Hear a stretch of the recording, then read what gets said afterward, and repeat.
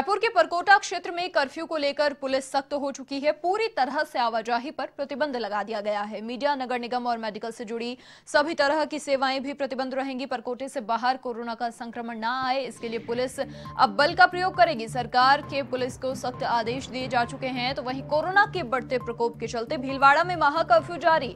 टोंक, चूरू और बांसवाड़ा के कुशलगढ़ में भी कर्फ्यू लगाया हुआ है। आपको बता दें कि सरकार के पुलिस को सख्त आदेश दे दिए गए हैं। ताकि परकोटे से बाहर कोरोना का संक्रमण न आने पाए। पूरी तरीके से आवाजाही को प्रतिबंध कर दिया गया है।